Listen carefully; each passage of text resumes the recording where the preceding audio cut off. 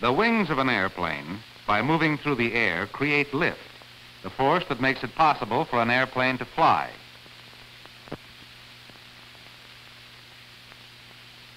But the movement of any object through the air creates another force, a force of resistance. The air resists the movement of the object. This force of resistance is called drag.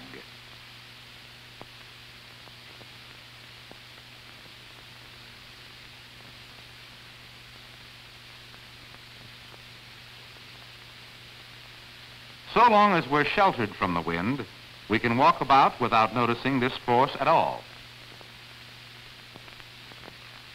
But in a high wind, it is hard work pushing against the swiftly moving air.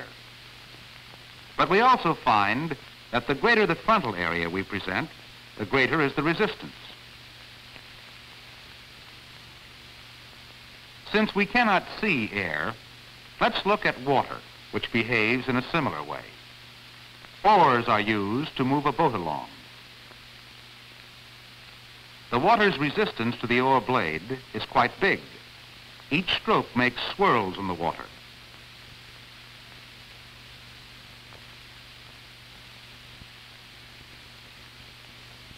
If the blade is turned edge on, however, there is little resistance and hardly any swirls. Low drag, small swirls. High drag, big swirls. Swirls always show that something has disturbed the even flow of water or of air.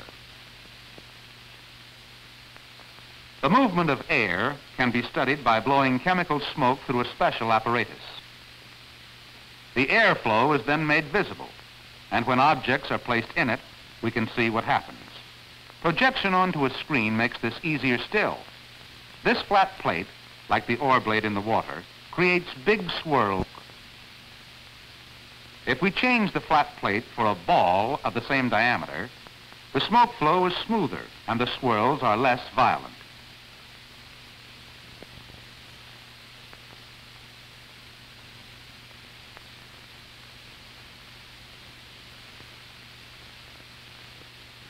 Using a streamlined shape developed from the ball, the tail added and the nose slightly altered, we find that the smoke flows smoothly over it without any swirls or turbulence.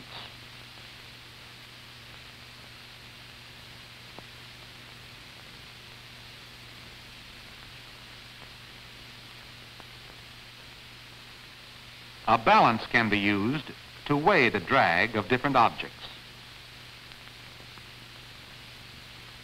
They can be fixed to a swinging arm connected to a scale pan. Movement of the arm also moves a pointer, which shows when the object is in balance.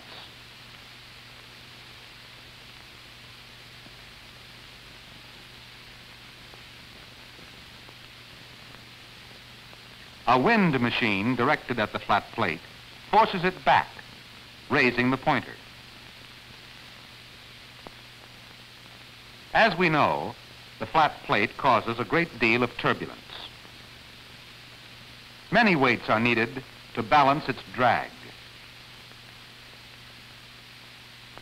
The drag is high because the turbulence is great.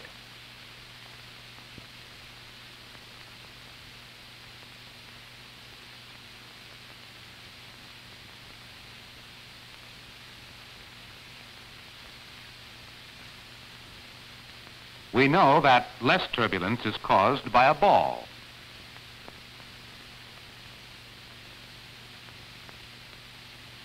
To balance its drag, some of the weights can be taken off.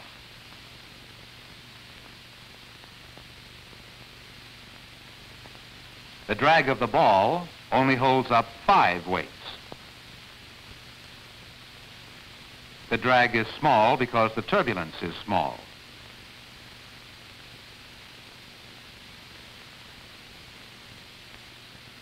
In the smoke test, we found that a streamlined shape, still of the same diameter, hardly disturbed the airflow at all. To make it balance, we can take off still more weights. The streamlined shape, then, has very little drag, less than one-fifth of the drag caused by the flat plate. This is because it allows the air to flow smoothly over it.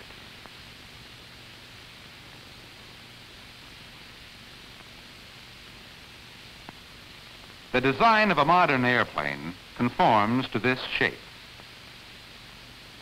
It has wings, a tailplane and a fin shaped for their special task, engines, and a cabin. It also has an undercarriage, but with most airplanes, this is retracted during flight. All this means that an airplane cannot be perfectly streamlined. The drag caused by all those parts of an airplane which do not create lift is called parasite drag. The balance apparatus will tell us how this kind of drag alters with speed. Starting at wind speed 1, a much lower speed than in the previous experiment, we find that one weight balances the flat plate. Double the wind speed, and we find that four weights are needed.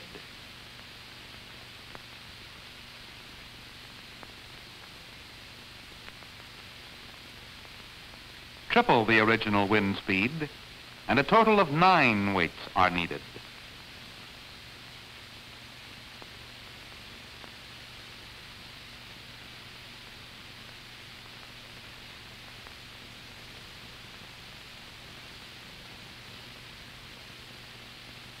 Let's tabulate these results. At zero velocity, no drag. At velocity 1, drag, one weight.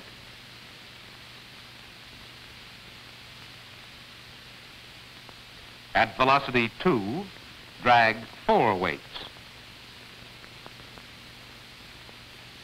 At velocity 3, drag nine weights.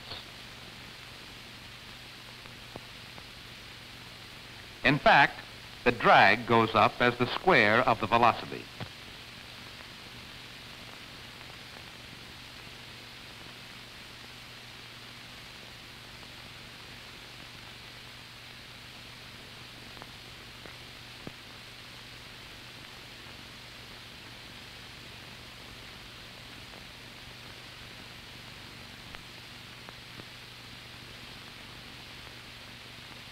Since parasite drag gets bigger so rapidly when speed increases, we can see how important it is to streamline a fast airplane.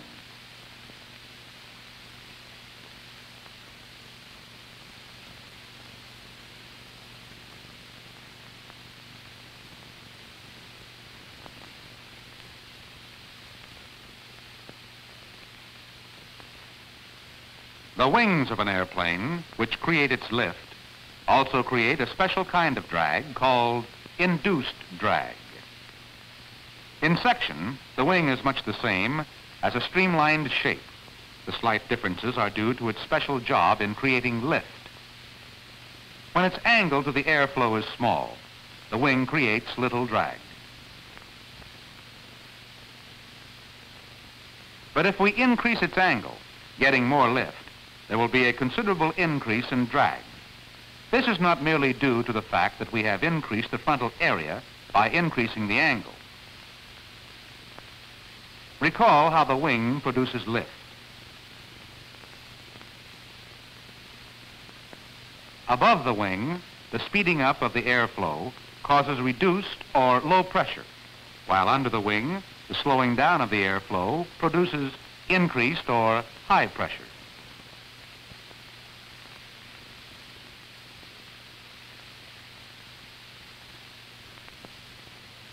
At the wing tips, the air tends to overcome this pressure difference. It flows on to the upper surface of the wing. This movement becomes a continuous rotary motion, the air curling over to form a string of vortices, which trail from each wingtip.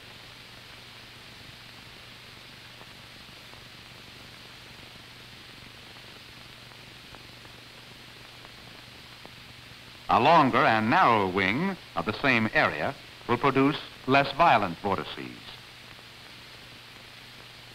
A streamer attached to the wing tip shows the swirling vortices and indicates that drag is present. But this form of drag is an inevitable result of the action of the wing in creating lift, in making it possible for the airplane to fly. At low speeds, the wing meets the air at a large angle, and induced drag is big. As speed is increased, the angle becomes much less. So, induced drag is lower at high speeds.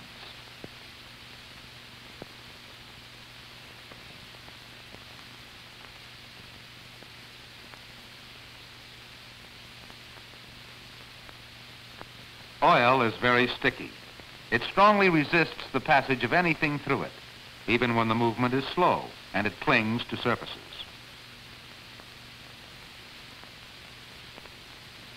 The stickiness of water is less noticeable. Air is still less sticky, but when it flows over the surfaces of an airplane, its stickiness does produce a certain amount of drag called skin friction.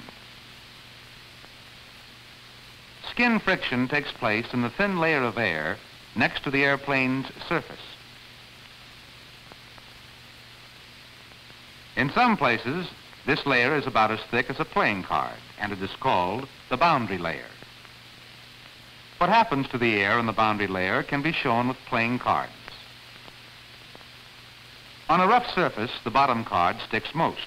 The upper ones stick less and less.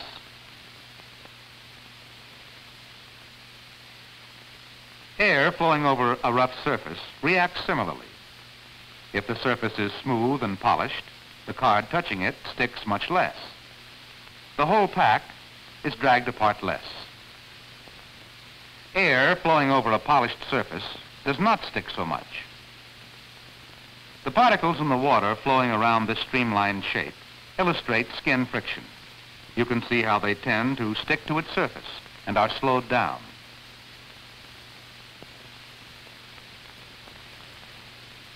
Despite the thinness of the boundary layer, skin friction is very important in flight. If the airplane is large, like a modern airliner, if it flies very fast, or if its outside surfaces are rough, skin friction may account for a considerable proportion of the total drag. We know then that there are three kinds of drag hindering the flight of an airplane. First, parasite drag from the fuselage, tail, engines, and all those parts which do not contribute towards the lift. Parasite drag can be kept down by ensuring that the airplane presents the smallest possible frontal area and by streamlining it. Second, induced drag from the wings.